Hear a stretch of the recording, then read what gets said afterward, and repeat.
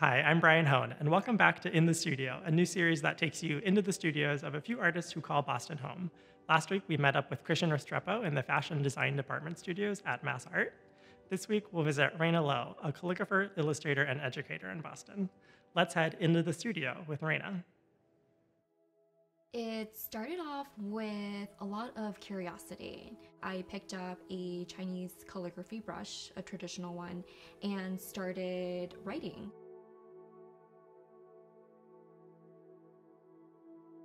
And I just loved it so much um, because when you're writing out the characters, you learn so much about the history. There wasn't intent to do art with it, it was just to learn and to be more close to my culture. And I just love the history of the characters, like learning the etymology behind what they mean and how they came to be. It's been such a fun journey, and I learned so much about myself and what I want to see in the world through my art. Studying traditional Chinese calligraphy is, is so ancient. People back in the day have been doing this for thousands of years. The advice that I would give to someone just starting out is to just draw. I think the biggest mistake artists make is that they want to define themselves so quickly. They want to find their style really quickly. For example, parents always ask, Oh, what do you want to be when you grow up? And I'm sure your six year old self said you wanted to be a cowboy. Well, I don't think that's true now, so you have to allow yourself to change and to learn new things because then that's the only way that you're going to develop yourself as an artist.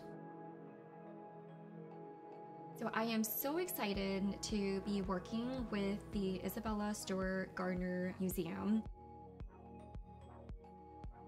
First of all, it's such a beautiful museum.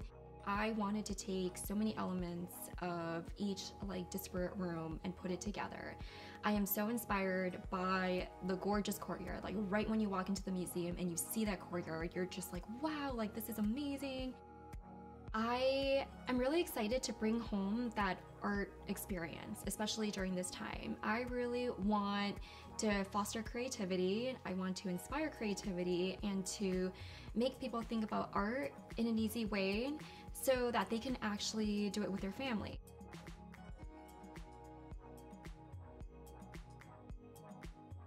There's just so many little things that I love about the museum and I was so inspired by that. So I wanted to put something together where to, to bring that energy home for everybody. So I took a bunch of pictures and drew out a bunch of sketches and I kind of wanted everybody to see the museum from an artist's perspective. And I wanted them to see, oh, like, I didn't think about thinking of it that way, or I didn't even know that that was there. I wanted to bring these digital workshop series to your home in connection with the Isabella Stewart Gardner's uh, collaboration with Shen Wei's exhibit Painting in Motion. So Shen Wei does a lot of traditional art, but he also pairs it with contemporary art as well too. And I wanted to bring those contrasting elements home to you to show you that you can pair traditional art and modern art together in our own way.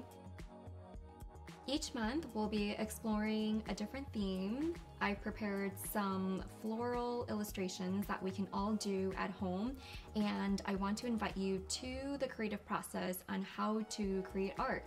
I'm going to break it down into simple instruction so that it's easy to follow, and I want you to be surprised and delighted with what you guys can create. These workshops will be taking place inside my studio, and I want to take this opportunity to invite individuals into my creative space.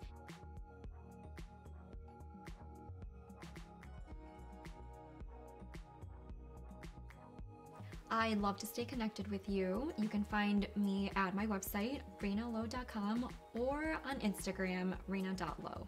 Rayna, thanks for inviting us into your studio, and thank you for joining us for this first series. Up next, we'll head back into the studio with Rayna for a series of workshops offered in connection with the Gardner Museum's upcoming special exhibition, Shen Wei Painting in Motion. We'll see you in the studio with Rayna.